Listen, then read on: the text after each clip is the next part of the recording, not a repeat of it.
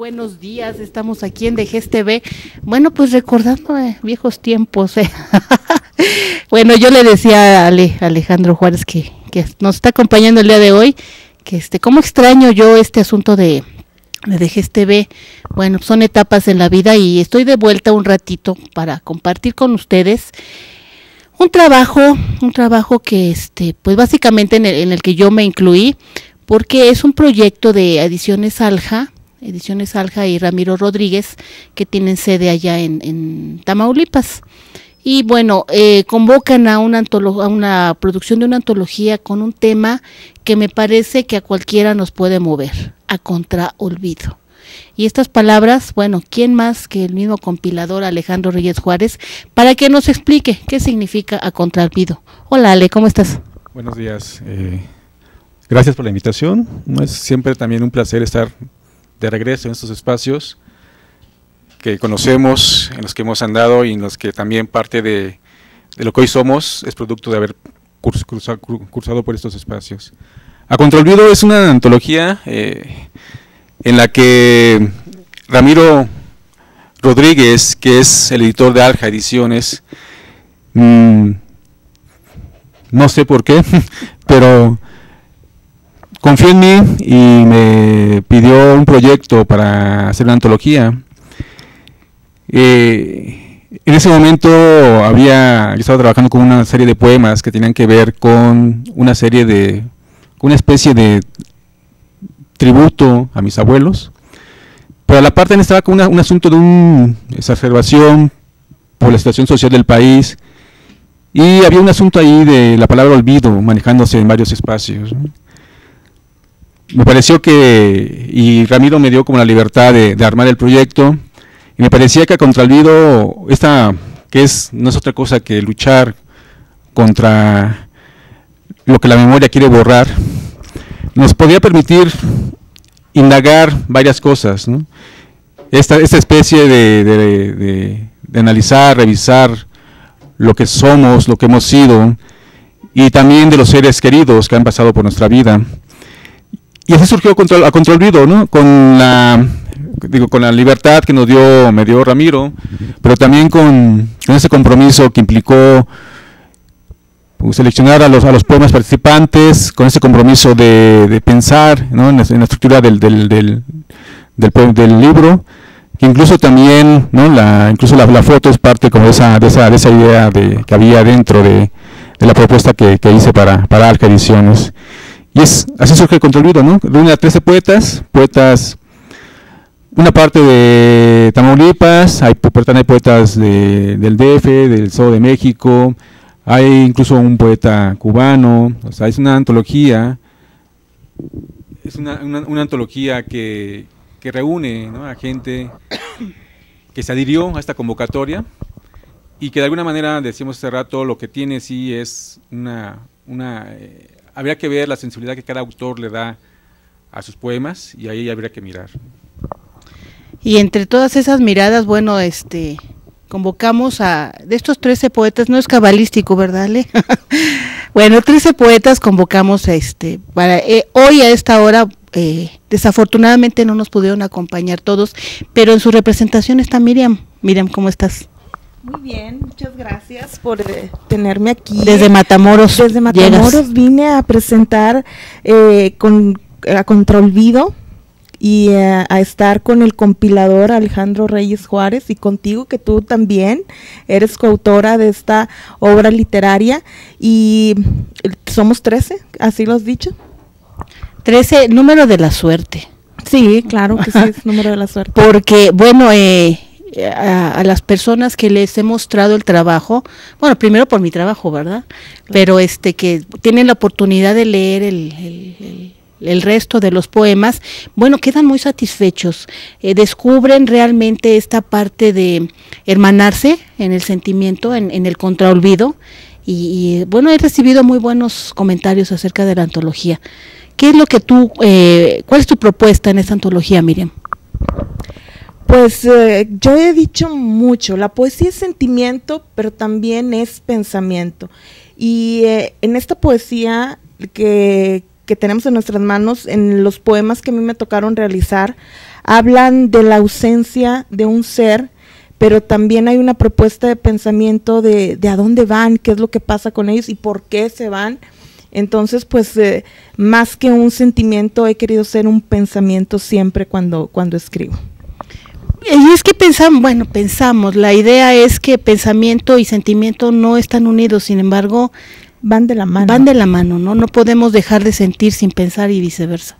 Claro, van de la mano, van, el pensamiento y el sentimiento van de la mano, pero a veces se carga para un lado el, sentimiento y es más la catarsis de, proponer, de, querer decir lo que se siente, pero otra parte es la parte de las ideas, del pensamiento, de la propuesta, de la tesis, y, pues yo creo que es la fusión de las dos que, la palabra tiene que quedar en, ese momento. Y pues es lo que lo que lo que yo traté de hacer en a, contra, contraolvido poemas para la evocación de los ausentes. Hace rato en radio Miriam eh, comentábamos eh, este asunto de que bueno muchos escribimos. Yo creo que la mayor parte de la gente en algún momento ha escrito algo sobre algo que siente.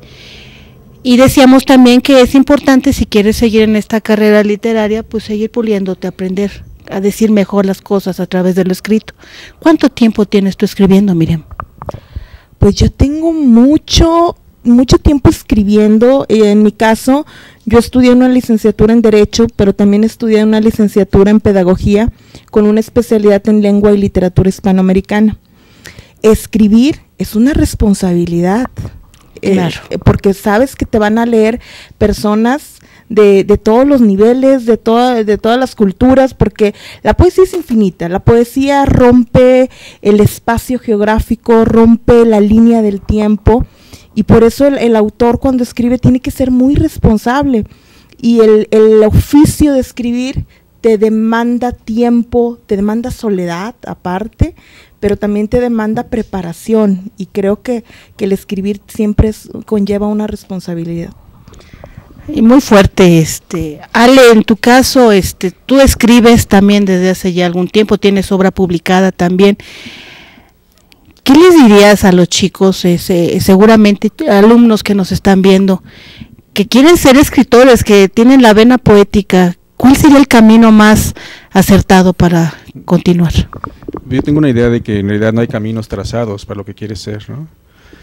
Habrá que uno construir su propio camino. En mi caso me parece que si, si bien es cierto que tengo ya bueno, libros publicados, he corrido con esa suerte, ¿no? De que, por ejemplo, que Ramiro me invitara para eh, conjuntar esta antología. Tengo libros individuales y participo de muchas antologías. Pero en mi caso es como una vocación tardía, ¿no? Es decir, yo me dedico a la educación desde hace muchos años y es apenas hace algunos 6, 7 años, 6 más o menos, que empiezo a escribir con mayor disciplina, con mayor dedicación, a partir de acercarme a un taller. Es decir, encuentra unos elementos, herramientas que decía Miriam, te permiten afinar lo que vas haciendo. Eh, y en, ese sentido creo que no hay, o sea, si yo, quizá hoy, hoy lo pienso, yo pude haber sido, dedicarme a la escritura desde, desde, joven, ¿no? No lo hice. Y es un asunto de estas rutas que nos han trazadas.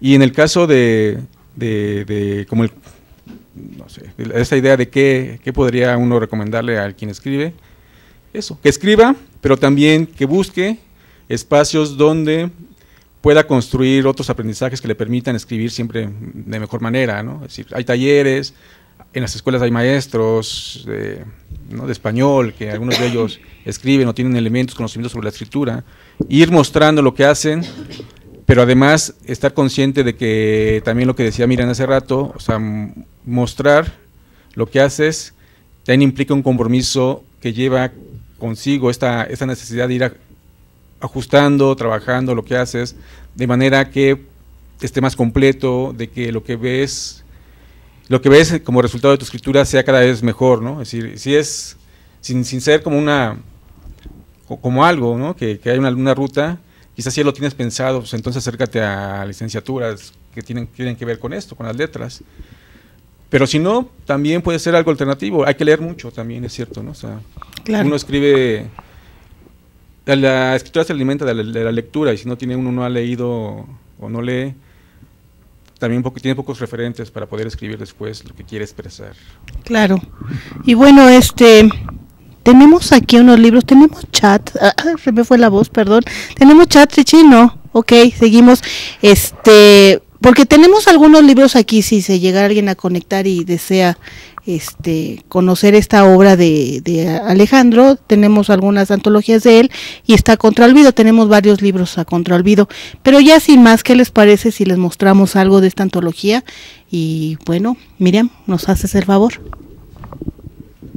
¿Qué nos vas a leer? Les voy a leer una poesía que viene aquí, se llama El tributo a la rama. Mujer de insignias, de fuego, y, cuerpo fecundo. Atravesaste este camino de diamante y pena. Fue tu útero umbral de esta humanidad, perpetuidad de tu simiente. El cielo desprendió una fracción de luz, estruendo que sepultó la nave, torrente que rodeó tu fetro, lluvia que rodó hasta tus sienes, voz suspendida en el pretérito. Te volviste omnisciencia de quien bebió de tus manos, mujer sin armas, con huestes de caricias. El hierro de tu cuerpo se venció en un hálito eterno, general que combatiste en una guerra sin soldados, victoria que obtuviste perdiendo una batalla en el silencio. Te fuiste cubierta de nubes que lloraban. Soy la rama que se alimentó de tu savia y hoy se inclina con fuerza de tributo para besar su raíz, fruto que agradece el árbol su sabor a miel. Mujer de tierras y riquezas, cosmo y agua, madre de genética armisticia, tu ausencia no me abreva, mi manto son las grietas del desierto. Eres tuero, pecho inmarcesible, vid que me alimenta, madre de ojos lunares y mirada de sol, habitas en la línea de un tiempo infinito estallido de partículas de luz que guardo bajo mis párpados. Soy el volcán que llora, fumarolas invocando tu nombre. Mi exhalación emana sin certeza, va por las calles, se eleva en busca de tu ausencia, para que se te entregue el beso de esta rama que se inclina para besar la raíz del árbol de savia bendita. Miriam, nos decías que esos poemas eh, los, los escribiste para tu madre. Sí, son, son para, para mi mamá, pero no tienen, ninguno de los poemas tiene el nombre de mi mamá porque quise que esta madre mía fuera también la madre de todos, madre universal. una madre universal, que, que el lector pudiera encontrar esa ausencia de un ser amado, de un ser querido, tan, tan sublime y tan, un amor maternal, vaya. Pues qué hermoso, Miriam, qué hermoso escribes y es gracias, muchas nos hace, bueno, en mi caso también mi madre ya falleció y me, remites a muchos a muchos sentimientos, ¿no? Eh, como tú dijiste, la madre universal. Así es, qué bueno que, que, que te gusta. Ale, ¿qué nos vas a leer? Decir esto de que en realidad también es una característica de la poesía. Uno escribe a partir de experiencias concretas, de lecturas específicas, incluso destinado a alguien en particular, pero siempre la poesía cobra, el poema cobra vida propia y en los ojos del otro es algo que puede ser significado de manera distinta, pero también universal. Es un poco este asunto. Yo, yo en mi caso, eh, estos poemas por lo menos son como tres, tienen tres orígenes. Uno es, decía hace rato, un tipo de tributo a mis abuelos. El otro es esta idea de escribir por los ausentes, a uno sin nombre, y donde incluyo ¿no? tanto a la gente que amo, a los amigos, pero también a, esta gente que, ha quedado en muchas, muchas fosas sin, sin un nombre. ¿no? Y hay algunos pequeños haikus que son escritos a partir de las lecturas de Juan Rulfo, del Llano en Llamas y de, y de Pedro Páramo. Como digo, son, finalmente son elementos que uno trata de traer a la memoria a partir de la escritura. La, este, este, el poema siguiente tiene un título largo, era parte de un proyecto en ese, momento. Y aunque está dirigido a una persona específica, intenta tener un poco lo que dice Miriam, ¿no? romper como esa, esa, esa parte específica. El título es el siguiente, dice, la roca suena en el fondo del pozo, en las ondas que el agua forma, el tres de copas y Porfirio en busca de Clemente. Leo, aprendiste a hacer silencio, a recolectar malvas de la niebla y sueños entre los abrojos, con cada gota de sangre que cae sobre tus zapatos y que no atinan a nombrarte. En las vigilias, cuando el azar y el rosario juegan entre tus dedos, al encender un cigarro sin filtro, con las luciérnagas que moran en el caposanto, y exhalar ese humo que conoce todos los relatos de brujas, duendes, diablos inaguales. Es mayo, y el invierno regresa sin anunciarse. Se te antoja un tequila, poner unas monedas en la rocola y cantar, cantar un corrido olvidado. Insomne te resistes a recostarte, aún cansado, deseas sorber los restos de la noche. Con hartazgo, cierras los ojos e imaginas el desierto, escucha los secretos que todos guardan para el final. ¿Dónde despertarás? En Finisterra o más allá de los confines, como armadillos escarbando el alba y sus promesas, o como sapo en espera de las lluvias para quitar la lava, quizá en rebelión en Ot, o nuevamente como susurro entre los paredones. Bravo, bravo, muy bien, Ale. Me pongo a pensar al escucharte, Ale, tenemos una imagen de poesía así como como muy esquemática, ¿no? Poesía al amor, poesía a la novia, al novio, este, a la mamá, pero cuando escuchamos poesía ya de otro tipo, como la que tú nos acabas de leer, este, hay muchas personas que dicen eso no es poesía y nos remitimos a qué es poesía para ti, Ale. La poesía, difícil, ese es, el, ese es difícil de definirlo, ¿no? Pero siempre es eh, esta, esta posibilidad de expresar ¿no? la, la sensibilidad que tiene que, que despierta el mundo en ti a partir de palabras. Si, bien es cierto que hay dos tipos de poesía, ¿no? este, y ese rato comentamos en radio, ¿no? A veces uno cree que la poesía es una manera de decir las cosas, cuando hoy en día hay muchas maneras de decir cosas y que sean, eh, son poemas o son poéticas, ¿no? Quizá sea cierto, ¿no? En algunas cosas no encontremos la poesía, pero bueno, sin tratar de clasificarlas, hay un texto que te atrae, te conecta, eh, ahí está la poesía, ¿no? Digo, la, poesía es algo que, está en la vida cotidiana, solo que uno intenta plasmarlo en un, en un texto. A veces lo logra, a veces no lo logra, ¿no? Pero hay estilos de, de hacer poemas, desde el conversacional, como, como, no sé, este, José Emilio Pacheco, Benedetti, hasta gente que trabaja más con las imágenes que en mi caso es eso, o sea, es decir, a pesar de que pareciera que es una algo que habla de, cosas cotidianas, trabajo con las imágenes, ¿no? Imágenes, muchas de ellas surrealistas, si quieren, de sueños, pero es una manera de expresar a partir de esas imágenes una manera de sentir el mundo.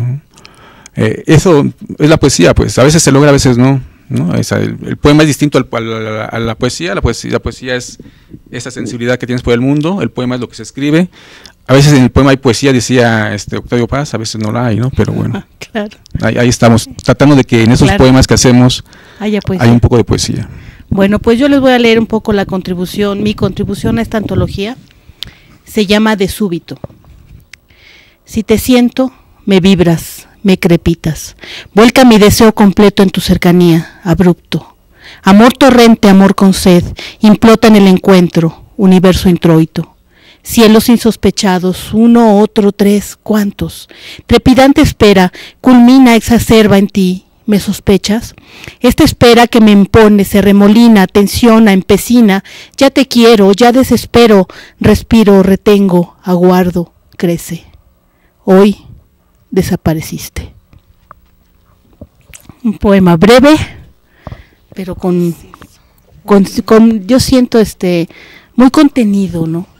no sé, así lo siento y de repente explota. Pero finalmente explota. Finalmente explota, así es. Esa es la, de las funciones que te hace sentir la, poesía, que llegas a, una catarsis de, emociones. A mí me pasa una cosa muy curiosa, me decía un amigo, es que tú nunca vas a escribir una novela. Tus textos son breves y explosivos. Y bueno, Eh, me he pensado mucho en eso. Hay gente que inicia escribiendo poesía y ha mudado a la, a la novela, ¿no? No sé, está Julián, Julián Herbert, Saltillo, ¿no? Que empezó escribiendo poesía, yo escribo novelas y sus novelas son, pre- son premiadas.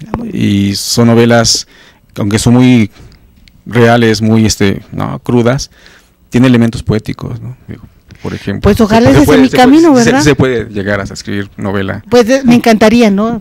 Sería como también un- una meta. Las novelas que tienen elementos poéticos, ejemplo claro, este Pedro Páramo de Juan Rulfo, Claro. ¿no? Es decir, es una novela breve, Es poesía. pero es poesía pura, ¿no? O sea, Claro, claro. Muy bien. Otro poema, Ma- Mi- Miriam. Otro poema con mucho gusto. Les voy a leer Gemas, que es una... Todas las palabras, a lo mejor que se les escapen ahí a, a- a lo que saben, son piedras preciosas. Entonces vamos a, leer el poema Gemas. Em, Bugambilia de asfalto bajo un cielo, madre perla, dama de estirpe zafiro y sueños color gema. En el palacio de paredes citrino, en una calle se estableció su señorío. Ninfa que cruzó el umbral en una cascada olor a ónix, agua de silencio. Regresó a la tierra con su cuerpo de polvo erguido y me dejó en la orfandad, en esta selva de teatro, discurso y cuento, con un nudo de garganta y rubíes macerados por su ausencia. Juro que su índice perforaba un túnel en las entrañas de la cordillera, que su voz morganita era manantial de luz y la palma de su mano lapislázuli era sombra en el desierto, y sus besos perla de ostra profunda, elixir de un náufrago sin luna. Combato una batalla contra el tiempo que transita por mis venas. Voy contra olvido por este camino de granate y obsidiana, sin epígrafe con su nombre que señale lugar o plazo. Mi certidumbre es saber que un día la iré a buscar. Piedra tornasol, roca milenaria de ciencia y fantasía, soy el reflejo de la gema que trascendió a lo sublime, alfa sin omega. De su palacio solo ágatas quedan, testimonio de su señorío. A ella le sobreviven la carne y sangre de su carne y sangre, los huesos de sus huesos, la palabra, el silencio y su reflejo. Bravo, bravo. Qué, qué, qué hermoso, Miriam. Ya nos queda poco tiempo y no quiero irme sin escuchar más otra poesía de Alejandro, por favor. Eh, el poema lo leí en radio, pero este un poco da como pauta a lo que aprendemos al proyecto, que así lo pensé yo. El proyecto fue desbordado por los poetas, claro, convocados, pero es un poco esta idea de, escribir po- por, los seres queridos, pero también por los que no tienen nombre, ¿no? El cartapacio guarda, entre trazos, aleteos y cantos, todos los nombres para evocar con el rocío del albor a los ausentes. Leo. Escribir el silencio en la bitácora no fue posible. Solo versos mudos y esta niebla tragapasos asoman a la página. Estéril recorrer dunas y cementerios, las noches de Lubina, Tlatelolco, Acteal, San Fernando, Iguala y Comala. Hurgar el corazón, tu orgasmo en la esquizofrenia, caminar al borde del abismo hasta el vértigo. El silencio de tus sueños y el de las fosas son los que más me duelen pero resultan incomprensibles como la pregunta de mi madre el día que decidió ampliar la sala para recibir su ataúd y su novenario. ¿Por qué escribes tanto de la muerte? Ignoro todo. Las luces de neón son un presentimiento de lo que sea. Y una invitación a este bar sin parroquianos. Un shot de cirrus para brindar por mis difuntos, por favor. Que el silencio continúe afuera, entre la nieve, como anhelo y utopía. Brindemos por los ausentes. Tenemos chat, tenemos este comentarios del- que nos, nos están viendo. Adelante, Richie, por favor. Así es, Susana. eh, creo que no me escucho. Ahí ya me escucho. Así es, Susana. Bueno, la verdad es que eh, hay muchas conexiones. eh, los están viendo y la verdad es que todos les mandan muchas felicitaciones. Muchas gracias. Está conectada la técnica número 103, la 111, 113, 29, 46, 58, 75 y también está Galicia. A todos les mandan muchas felicitaciones. Y bueno, antes de, antes de irnos, eh, Susana, por favor, eh, queremos escuchar un poema tuyo. Sí, claro, claro, no puedo ir, ¿verdad? Sin otro poema, pero además, este, creo que es, eh, vale la pena que lean el conglomerado de poetas de esta antología Contra Olvido. Se puede pedir directamente a la editorial, el correo es aljaediciones2012 arroba gmail.com. Está en Amazon, en Amazon busquen a Contra Olvido, ahí está también ventas en línea. Y bueno, pues este poema que es, es mínimo, es pequeño, pero con mucho sentimiento. Y por eso no te quise querer más por lo etéreo, por lo efímero, por lo eterno, por lo mínimo, porque todo es grano de arena. Por eso me quedé queriéndote poco, mota de polvo, luz de otoño, paso leve, murmullo lejano, solo un poco, solo para siempre.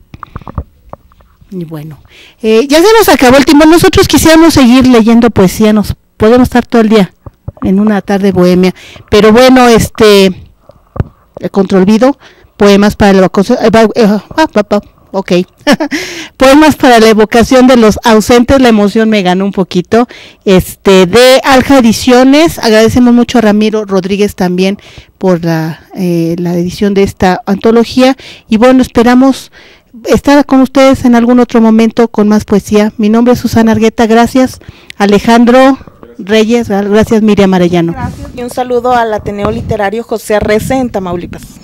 Hasta allá Tamaulipas. Gracias, hasta luego. Hasta luego, gracias.